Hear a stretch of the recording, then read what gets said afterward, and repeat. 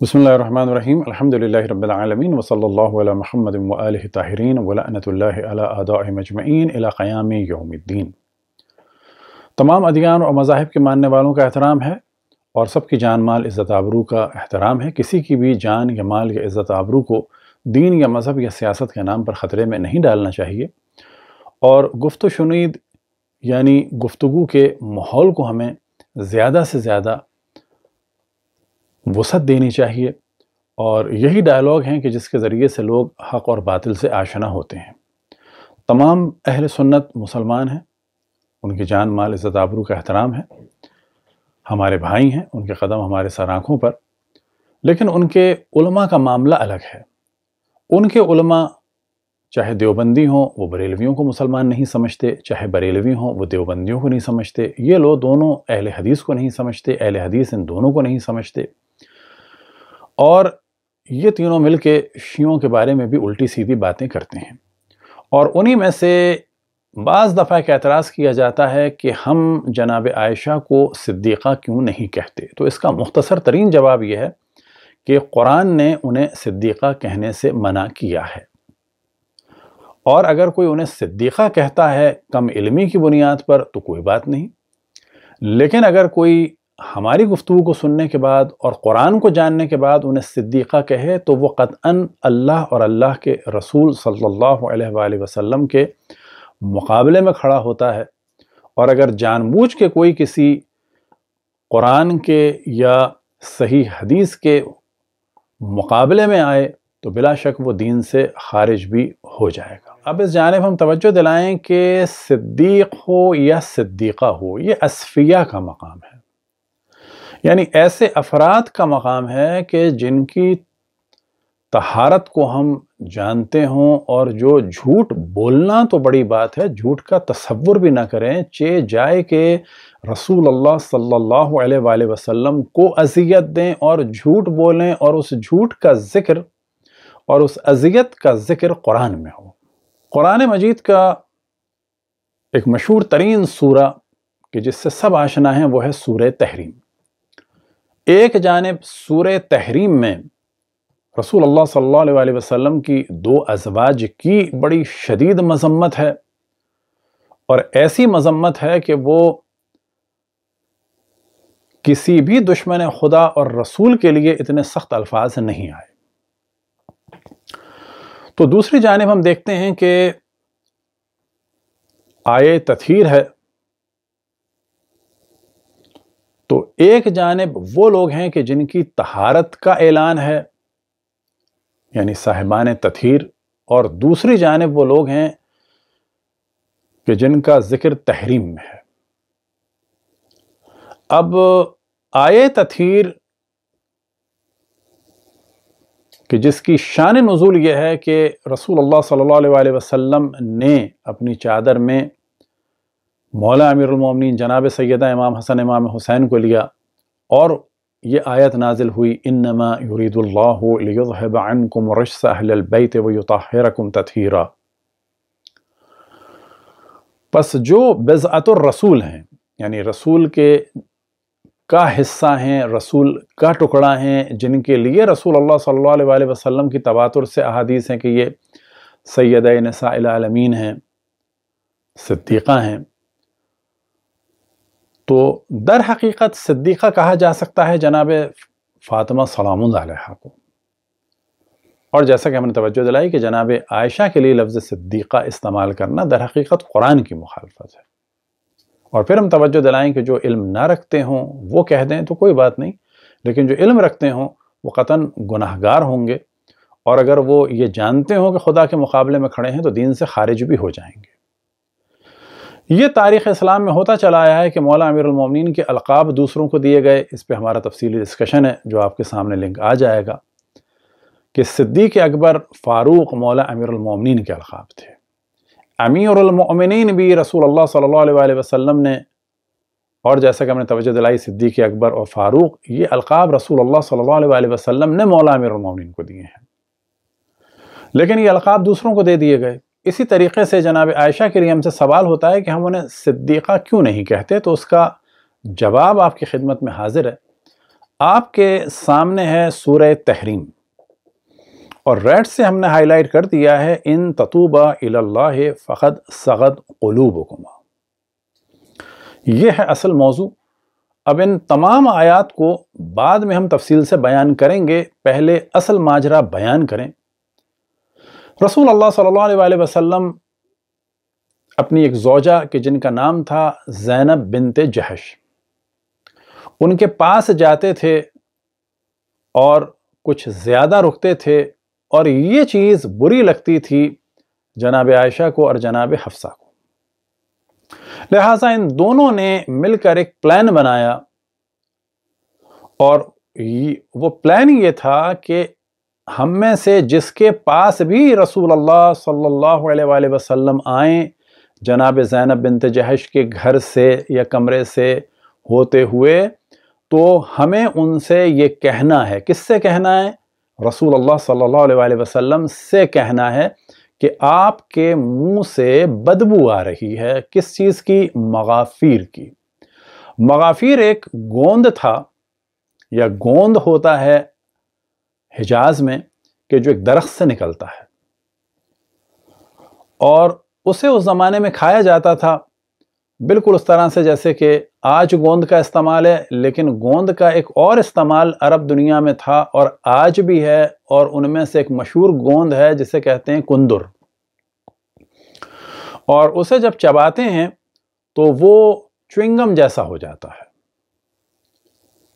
लेकिन उस मगाफिर के गोंद में बदबू होती थी। अब जब रसूल अल्लाह सल्लल्लाहु अलैहि वसल्लम आए इन दोनों ख़वातीन के पास तो इन्होंने रसूल अल्लाह सल्लल्लाहु अलैहि वसल्लम को अजियत दी, उनकी तोहन की कि आपके मुँह से मगाफिर की बदबू आ रही है।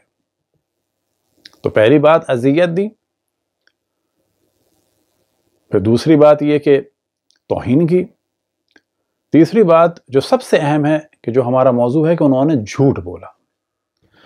आम झूठ बोलने वाला सिद्दीक नहीं हो सकता तो रसूल अल्लाह सल्लल्लाहु अलैहि वसल्लम को अजियत देते हुए। उनसे झूठ कहा जाए, उनसे झूठ बोला जाए, वो भी एक जोजा की हसद में बोला जाए। किसी की जान बचाने के लिए झूठ बोला अलग मौजू है। बिला वजह झूठ बोला अलग मौजू है। ना रसूल अल्लाह सल्लल्लाहु अलैहि वसल्लम को अजियत देने के लिए, उनकी जोजा से उनको दूर करने के लिए। ये झूठ बोला इन दो खातन ने। उस पर यह आयत नाजिल हुई। तो अब कैसे कहा जा सकता है, इनमें से किसी को भी सादका या सिद्दीक़ा? सिद्दीक़ा तो बहुत बड़ी चीज़ है हती सादका भी मुतलकन नहीं कह सकते। किसी एक मौजू में कहा जा सकता है कि वो सच कह रही हैं। लेकिन ये कहा जाए कि वो सच्ची थी, कभी झूठ नहीं बोला। चे जाए कि सिद्दीक़ा तो ये कुरान के ख़िलाफ़ है। अब सबसे पहले आपके सामने है सही बुखारी जिल नंबर छः, कि जिसमें ये सारी दास्तान आपके सामने आ जाएगी और मय इजाफे के साथ। सफ़ा नंबर है 451 और हदीस नंबर है 4912 और हाईलाइट हमने कर दिया है। इनसे हज़रत आयशा ने बयान किया सनत को हमने छोड़ दिया है कि रसूल अल्लाह सल्लल्लाहु अलैहि वसल्लम जैनब बिनते जहश रज़ी अल्लाह अनहा के घर में शहद पीते और वहाँ ठहरते थे। मैंने और हफ्सा रज़ी अल्लाह अनहा ने ऐसा किया कि हम में से जिसके पास भी हज़रत सल्लल्लाहु अलैहि वसल्लम ज़ैनब के यहाँ से शहद पीकर आने के बाद दाखिल हों तो वो कहे कि क्या आपने प्यास खाई है? ये प्याज रिवायत में नहीं है, असल में है मगाफिर। यहाँ पे प्याज से मुराद है कि, यानी बदबू वाली चीज़। आपके मुँह से मगाफिर की बू आती है। यानी ये नहीं कि फ़कत आ जा रही है, बू आती है। चुनाते जब आप तशरीफ़ लाए तो मंसूबे के तहत यही कहा गया। मंसूबे के तहत यही कहा गया, यानी झूठ बोला गया। आ हज़रत बदबू को बहुत नापसंद फरमाते थे, इसलिए आपने फरमाया, मैंने मगाफिर नहीं खाई है अलबत् जैनब बिनते जहश रज़ी अल्लाह अनहा के यहाँ से शहद पिया था, लेकिन अब मैं इसे भी हरगिज़ नहीं पीऊँगा। मैंने इसकी कसम खा ली है, लेकिन तुम किसी से इसका ज़िक्र ना करना। यानी किसी से ना कहना कि जैनब बिनते जहश के यहाँ जो मैंने शहद पिया है, उससे ऐसी बू आ रही है जैसे कि मगाफिर की। अब है जिल्द नंबर सात, सही बुखारी की, और सफ़ा नंबर है फोर्टी थ्री, और हदीस नंबर है फाइव टू सिक्स सेवन मैंने हज़रत आयशा से सुना कि उन्होंने बयान किया कि नबी करीम उम्मुलमोमिनीन जैनब बिनते जहश रज़ी अल्लाह के यहाँ ठहरते थे। अब मौजू ठहरना। और इनके यहाँ शहद पिया करते थे। चुनाचे मैंने और हफ्सा रज़ी अल्लाह ने मिलकर सलाह की, यानी एक साजिश की, कि आ हज़रत सल्लल्लाहु अलैहि वसल्लम हम में से जिसके यहाँ भी तशरीफ़ लाएँ तो आ हज़रत सल्लल्लाहु अलैहि वसल्लम से ये कहा जाए कि आपके मुँह से मगाफिर। अब ब्रैकेट में क्या है? एक ख़ास कस्म की बदबूदार गोंद की बू आती है। क्या आपने मगाफिर खाया है? आ हज़रत अलैहि वसल्लम इसके बाद, ये हमने नीले से हाईलाइट किया, यानी इन्होंने झूठ बोला। हम में से एक के यहाँ तशरीफ़ लाए तो उन्होंने हज़रत से यही बात कही। क्या कही कि आपके मुँह से बदबू आ रही है, जबकि नहीं आ रही है? यानी झूठ बोला। आ हज़रत सल्लल्लाहु अलैहि वसल्लम ने फरमाया कि नहीं, बल्कि मैंने जैनब बिनत जहश रज़ी अल्लाह के यहाँ शहद पिया है। अब दोबारा नहीं पीऊँगा। इस पर यह आयत नाजिल हुई कि ए नबी, आप वो चीज़ क्यों हराम करते हैं जो अल्लाह ने आपके लिए हलाल की है? और कहाँ तक आयत आई? इन ततूबा अल्लाह ये हज़रत आयशा और हफ्सा रज़ी अल्लाह अनहा अनहुमा की तरफ़ खिताब है। वैसर नबी अजवाज ही कि आपने एक नब, अपनी जोजा से कहा।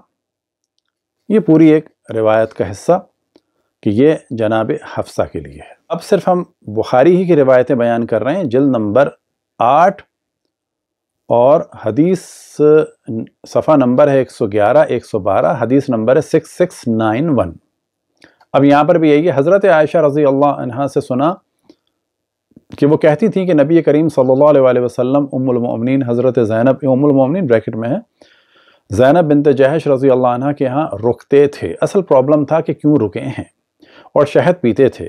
फिर मैंने और हफ्सा ने अहद किया कि हम में से जिसके पास भी हज़रत आएँ तो वो कहें कि हज़रत के मुँह से मगाफिर की बू आती है। यानी रसूल अल्लाह सल्लल्लाहु अलैहि वसल्लम से झूठ बोलें, उनको अजियत दें, उनको, उन पर तहमत लगाएँ कि आपके मुँह से बदबू आती है।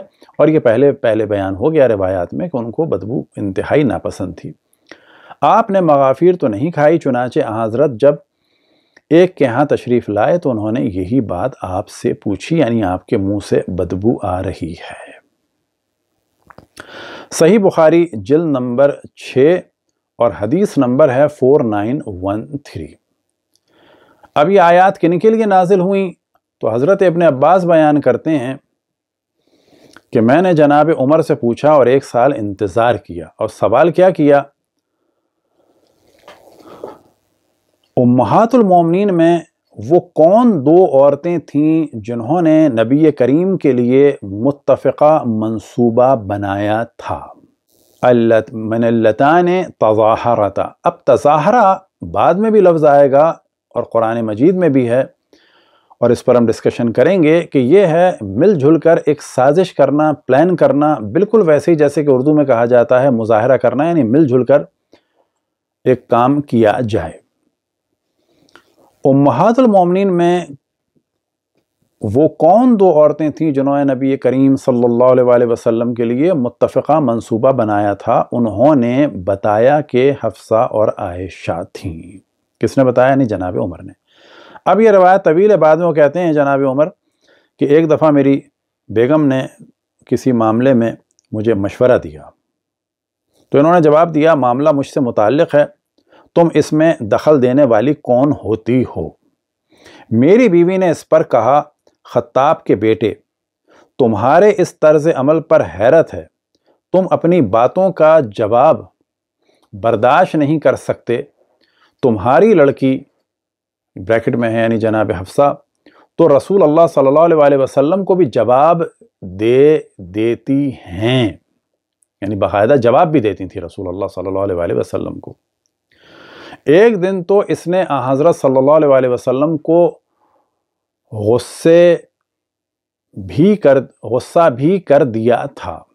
यानी हज़रत सल्लल्लाहु अलैहि वसल्लम पर गुस्सा किया इन्होंने। किसने? जनाब हफ्सा ने। यह सुनकर हज़रत उमर खड़े हुए और अपनी चादर ओढ़कर हज़रत हिफ्ज़ा, हफ्सा के घर पहुँचे और फरमाया, बेटी, क्या तुम रसूल अल्लाह की बातों का जवाब दे देती हो? यहाँ तक कि एक दिन तुमने हज़रत को दिन भर नाराज़ भी रखा। अब आप तस्वुर करें कि रसूल अल्लाह सल्लल्लाहु अलैहि वसल्लम को दिन भर नाराज़ रखा। हज़रत हफ्सा हफ्सा ने अर्ज़ किया हाँ अल्लाह की कसम, हम आ हुजूर को कभी जवाब दे देते हैं। यानी हम जवाब दे देते हैं। अब नीले से हमने बाद में इसको फिर हाईलाइट किया है। हज़रत उमर रज़ी अल्लाह ने कहा कि ने कहा कि मैंने कहा, जान लो, मैं तुम्हें अल्लाह की सज़ा और इसके रसूल की सज़ा से डराता हूँ। बेटी, अब यहाँ पर नीले से देखें कि जनाब उमर, जनाब आयशा के बारे में क्या नज़रिया रखते थे। बेटी, इस औरत की वजह से धोखा में ना आ जाना, जिसने हुजूर अकरम की मोहब्बत हासिल कर ली है। किस औरत के धोखे में ना आना? यानी जनाब उमर नसीहत कर रहे हैं जनाब हफ्जा को, इस औरत की वजह से धोखा में ना आ जाना जिसने हुजूर अकरम की मोहब्बत हासिल कर ली है। इनका इशारा हज़रत आयशा की तरफ़ था। अब आप तस्वुर करें कि जनाब उमर फरमा रहे हैं अपनी बेटी से कि हज़रत आयशा के धोखे में ना आना।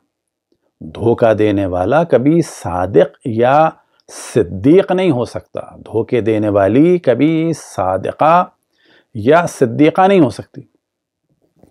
उम्मुल हज़रत उम्म सलमा के पास आया। अब जनाब उमर पहुँचे। जनाब उम्मुल हज़रत उम्म सलमा सलवातुल्ला वसलाम के पास जो वाक़न शान रखती थी कि रसूल अल्लाह सल्लल्लाहु अलैहि वसल्लम की जोजा के पास आया।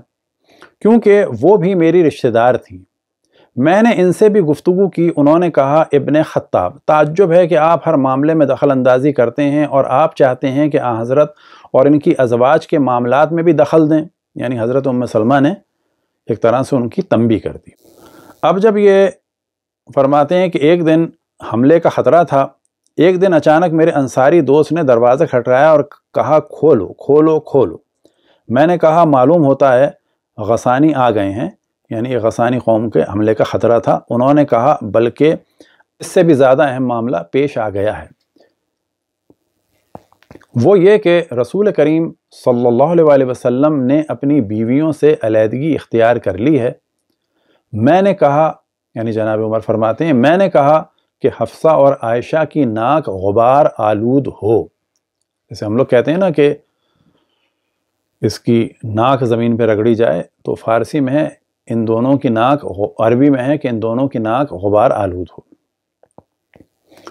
अब ये कहते हैं कि रसूल अल्लाह सल्लल्लाहु अलैहि वसल्लम के पास पहुँचे, वो छत पर थे, इजाज़त ली। और रसूल अल्लाह सल्लल्लाहु अलैहि वसल्लम से कहा कि मैं जनाब उम्म सलमा के पास पहुँचा था। तो अभी बताते हैं कि जब मैं हज़रत उम्म सलमा की गुफ्तु पर पहुँचा तो आपको हँसी आ गई। यानी हज़रत उम्म सलमा ने जो तंबी की थी जनाब उमर की, ये जब हज़रत उमर ने बताया कि हज़रत उम सलमा ने कहा, तुम हर मामले में दखल अंदाज़ी करते हो। अब रसूल अल्लाह सल्लल्लाहु अलैहि वसल्लम के घर के मामला में भी दखल अंदाज़ी करोगे तो रसूल अल्लाह सल्लल्लाहु अलैहि वसल्लम को इस पर हँसी आ गई। अब आपके सामने हदीस है फ़ोर नाइन वन फोर, और यहाँ पर भी जनाब हज़रत इबन अब्बास रजवान से हदीस है कि उन्होंने जनाब उमर से सवाल किया। वो कौन दो औरतें थीं जिन्होंने रसूल अल्लाह सल्लल्लाहु अलैहि वसल्लम के सताने के लिए मंसूबा बनाया? मनल मरअतान अल्लतान तज़ाहरता अला रसूल अब यहाँ तज़ाहरता के माना क्या है कि जिन्होंने गठजोड़ किया और रसूल अल्लाह सल्लल्लाहु अलैहि के ख़िलाफ़ एक प्लानिंग की और आपके सामने एन यही इबारत आ जाएगी उर्दू से हम सही बुखारी से बयान कर रहे हैं और एक क्लिप भी दिखाएँगे डॉक्टर असरार अहमद का कि कोई ये ना कहे कि हमने तोहन कर दी। अभी मैंने अपनी बात पूरी भी नहीं की थी कि उन्होंने कहा, यानी जनाब उमर ने कहा कि वो आयशा और हिफ्जा थी। ए, दोनों बीवी हों। अगर तुम अल्लाह के सामने तौबा कर लोगी तो बेहतर है। तुम्हारे दिल इस गलत बात की तरफ़ झुक गए हैं। अब इन तजाहरा है का क्या तर्जुमा किया है? यानी अगर नबी के मुकाबले में तुम रोज़ नया हमला करती रहीं। अब ये देखें कि ये मुतरजम यहाँ पर जो तर्जुमा कर रहे हैं जनाब आयशा और जनाब हफ्ज़ा के लिए, वो क्या कर रहे हैं तर्जुमा? यानी अगर नबी के मुकाबले में तुम रोज़ नया हमला करती रहीं तो इनका मददगार तो अल्लाह है और जब्राइल हैं और नेक मुसलमान हैं और इनके अलावा फ़रिश्ते भी मददगार हैं। अब अगली रिवायत है, वहाँ पर भी यही मौजू है, फ़ोर नाइन वन फाइव। अब यहाँ पर तवज्जो रहे कि हम सही बुखारी से बाहर नहीं निकले अभी। यहाँ पर क्या है? और ये भी जनाब अपने अब्बास से है, उन्होंने बयान किया कि मैंने हज़रत उमर से इन दो औरतों के मुतालिक सवाल करना चाहा, जिन्होंने रसूल अल्लाह सल्लल्लाहु अलैहि वसल्लम के ऊपर ज़ोर किया था। एक साल में ऐसी फ़िक्र में रहा फिर बिलाखिर उसके बाद इन्होंने सवाल किया, वो औरतें कौन थीं जिन्होंने नबी करीम सल्लल्लाहु अलैहि वसल्लम के मुकाबल ऐसा किया? उनके मुकाबले में आ गई थी। अभी मैंने अपनी बात पूरी ना की थी कि उन्होंने कहा वो आयशा और हफ्सा थी। तो यहाँ से इस बात को वाज जहन में रखें कि ये वाली वो चीज़ें हैं कि जो तमाम तफासिर अहल सुन्नत में हैं और तकरीबन तमाम कुतुब रवाई, यानी रवायात, कुतुब रवायात अहल सुन्नत में है। लेकिन उलमा अहल सुन्नत की रविश यह है कि वो इन चीज़ों को छुपाते हैं और फिर शोर ये करते हैं कि अगर कोई इनको बयान करे तो वो तोहिन कर रहा है। अब ये सारी चीज़ें आपके सामने हैं और फिर हम तवज्जो दिलाएँ कि इसके बाद अगर कोई सादका या सिद्दीक़ा कहे तो वो कुरान और हदीस के मुकाबले में खड़ा है खसूस रसूल अल्लाह सल्लल्लाहु अलैहि वसल्लम के। अब आपके सामने क्लिप है डॉक्टर असरार का कि वो इन ततुबा के ऊपर डिस्कशन कर रहे हैं कि शिया बोझ रखते हैं, लिहाजा वो कहते हैं दिल टेढ़े हो गए। तो हम देखेंगे कि उलमा अहल सुन्नत ने उर्दू में क्या तर्जुमा किया है और कैसे बात को घुमाया है। और अरबी में इन ततुबा के लिए क्या कहा गया है? और फिर कुछ बाद की आयत के बारे में भी इसी ज़मन में डिस्कशन हो जाएगा। और इसी वजह से हमने पहले इन तमाम आयात को नहीं पढ़ा, क्योंकि ज़मन अब ये सब आयात आ जाएँगी कि जिनका ताल्लुक इस वाक़े से है। तो उन्होंने है। अगर तो अब तुम दोनों अल्लाह की जनाब में तौबा करो। फ़कत सगत कलूब कोमा इसका तर्जुमा किया तो तुम्हारे दिल टेढ़े हो चुके हैं। यह अहल तशैयों का तर्जुमा है। अरवाज मतहरात से उन्हें बिलूम कद है। हज़रत आयशा से तो बहुत सख्त है, लेकिन ये आम अरवाज मतहरात से। इसका तर्जुमा सही यह है कि अगर तुम अल्लाह की जनाब में तोबा करो तो तुम्हारे लिए यही मुनासिब है और तुम्हारे दिल तो माइल हो चुके हैं। आपके सामने तर्जुमा है डॉक्टर ताहिरुल कादरी साहब का। अब पूरा मामला बुखारी से आपके सामने आ गया। अब आप तदवीक करें इस पूरे वाक़े की।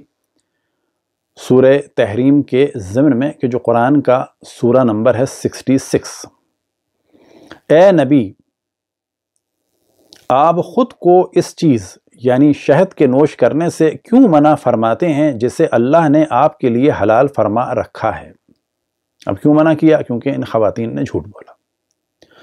आप अपनी अजवाज की दिलजोई फरमाते हैं और अल्लाह बड़ा बख्शने वाला नहायत मेहरबान है। ए मोमिनो, बेशक अल्लाह ने तुम्हारे लिए तुम्हारी कस्मों का कफ़ारा देकर खोल डालना मुकर्र फरमा दिया है। और अल्लाह तुम्हारा मददगार व कारसाज है और वो खूब जानने वाला, बड़ी हमत वाला है। और जब नबी मुकर्रम सल्लल्लाहु अलैहि वसल्लम ने अपनी एक जोजा से एक राजदाराना बात इरशाद फरमाई, क्या बात? कि ये किसी से न कहना, ये बदबू वाली बात।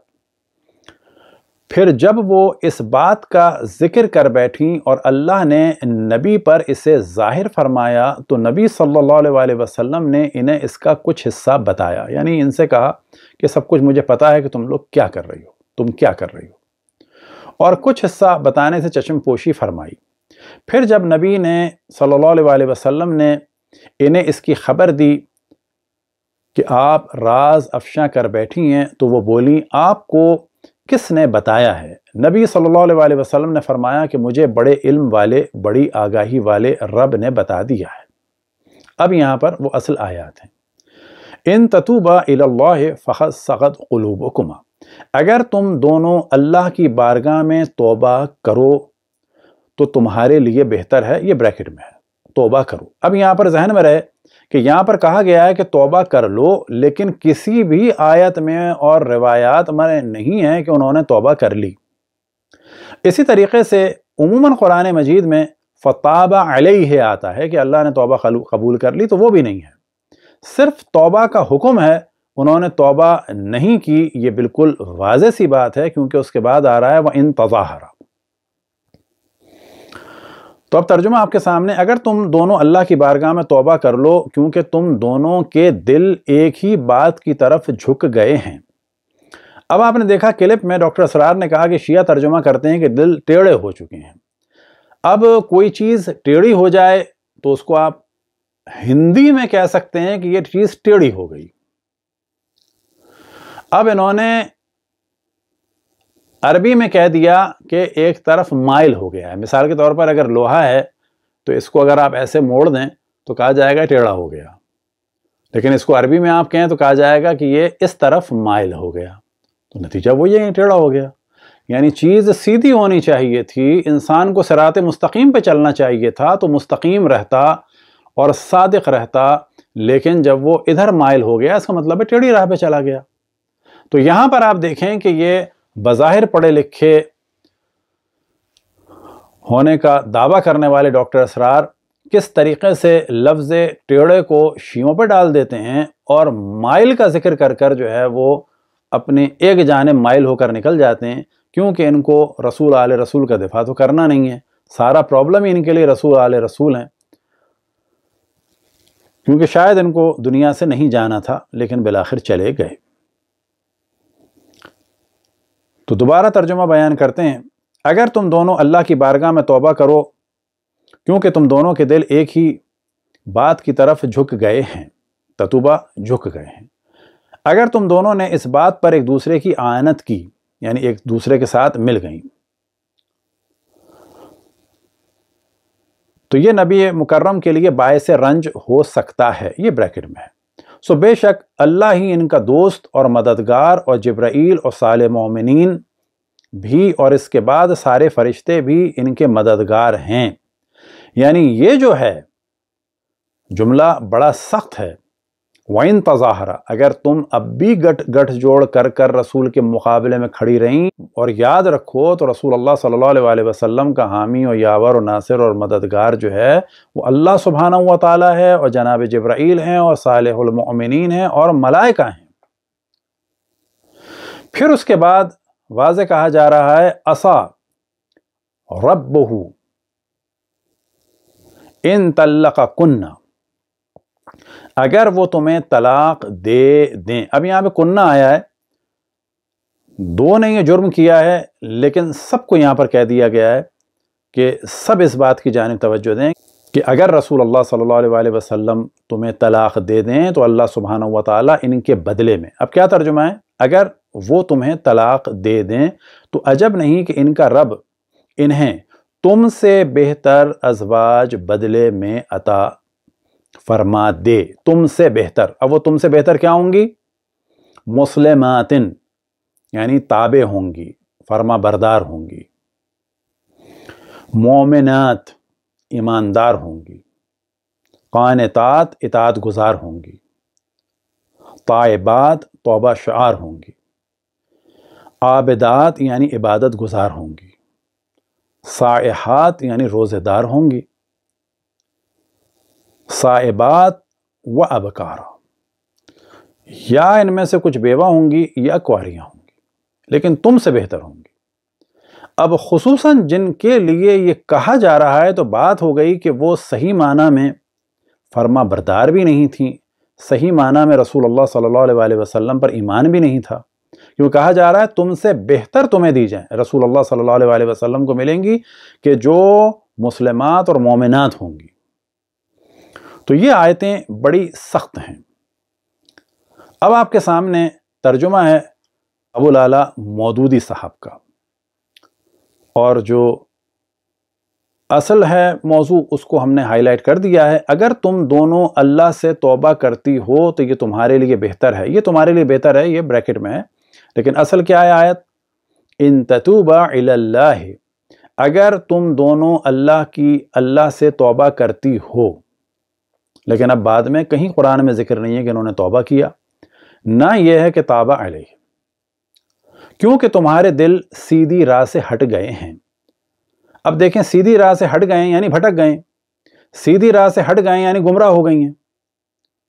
लेकिन क्या कहा जा रहा है कि शिया तोहिन कर रहे हैं क्योंकि कह रहे हैं दिल टेढ़े हो गए जबकि अगर उसका तर्जुमा सगत का हिंदी में किया जाए तो टेढ़ा ही लगाएगा और अगर अरबी में कर दिया जाए तो माइल कर दिया। इन्होंने क्या किया कि हट गए, यानी सरात मुस्तकीम पे नहीं रहे, सीधी राह से हट गए, यानी ये सरात मुस्तकीम पे नहीं रहीं। अब जब ये खातन सरात मुस्तकीम पे नहीं रहीं तो हमसे क्या शिकवा किया जा रहा है कि हम इन्हें सिद्दीक़ा क्यों नहीं कहते या इनसे दीन क्यों नहीं लेते? क्योंकि एक जानब ये हैं कि जिनके लिए आए तहरीम में इतनी मजम्मत सूर तहरीम में इतनी मजम्मत हुई है, हम उनसे दीन लेते हैं कि जिनकी तारीफ़ आए तथीर में हुई है। और अगर नबी के मुकाबले में तुमने जत्था बंदी की वन तवा हरा यही उर्दू के मुजाहरे वाला, अगर तुम दोनों ने मुजाहरे किए, इसका तर्जुमा इन्होंने क्या किया मौजूद सामने? अगर, और अगर नबी के मुकाबले में, अब नबी से मुकाबला हो रहा है, उनके खिलाफ ये काम हो रहा है तो कहाँ से सिद्दीक़ा कहा जा सकता है?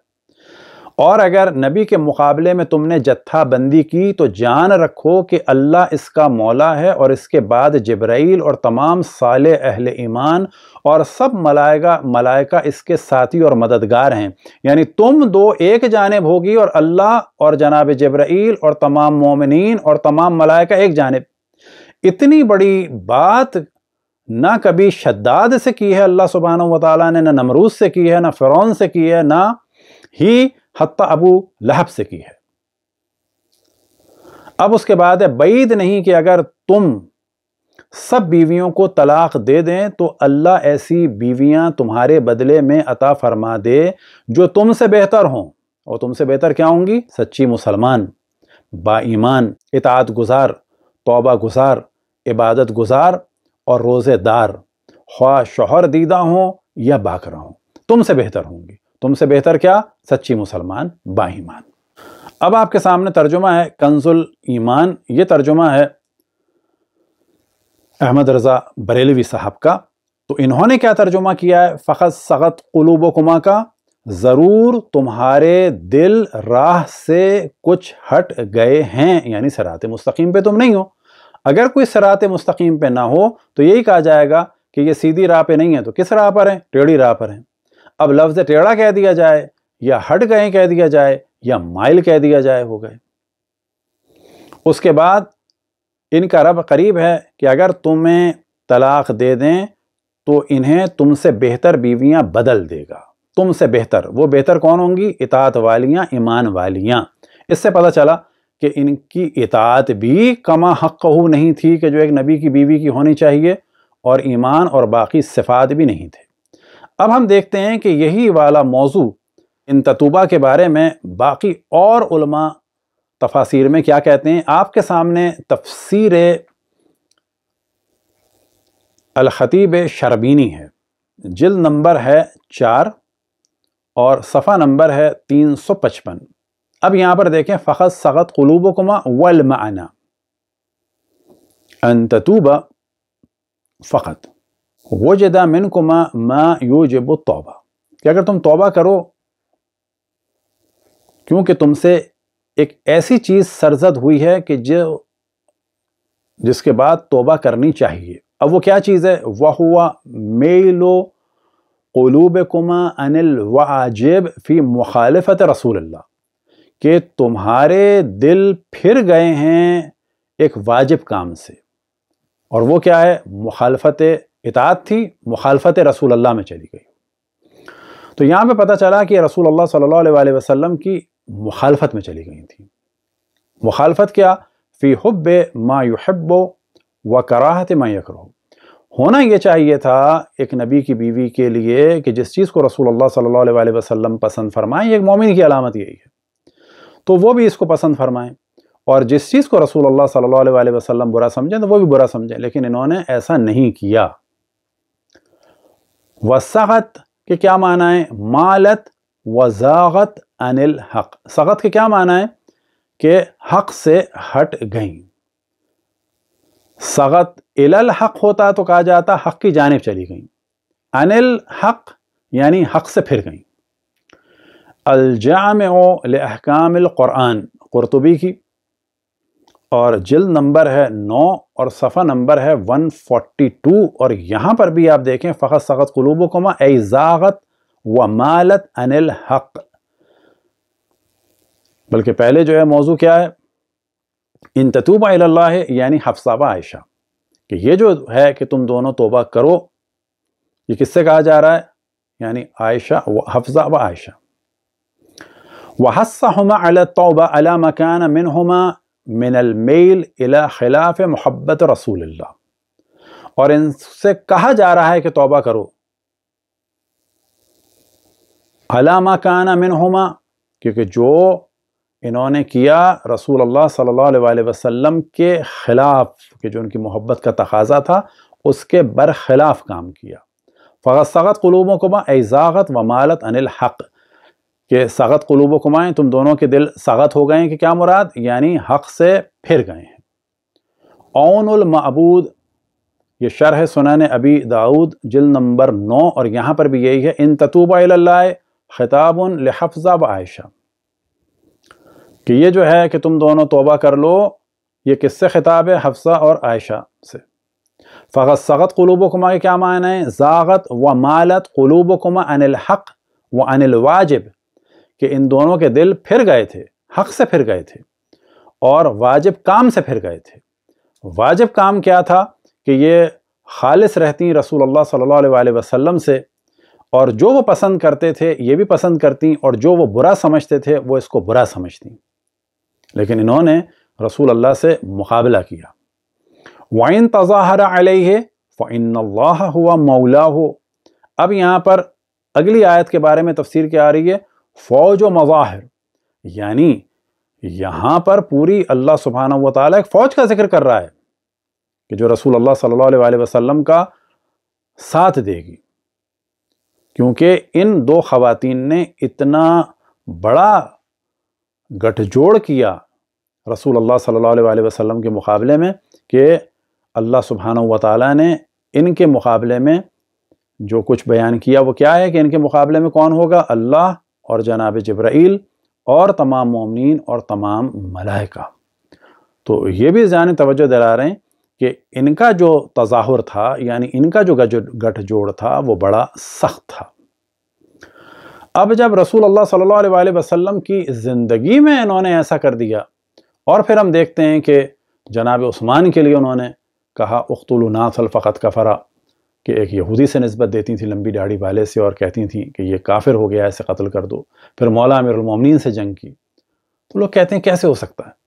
बाबा, कुरान जब कह रहा है कि रसूल अल्लाह सल्लल्लाहु अलैहि वसल्लम के मुकाबले में ये ख़वातीन आ गई थीं और फिर अल्लाह सुबहान व ने इनसे तौबा का कहा, लेकिन तौबा कबूल होने का या इनकी तौबा करने का ज़िक्र कुरान में नहीं आया।